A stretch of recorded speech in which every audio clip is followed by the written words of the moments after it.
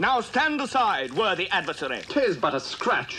A scratch? Your arm's off. No, it isn't. Well, what's that then? I've had worse. You liar! Come on, you pansy.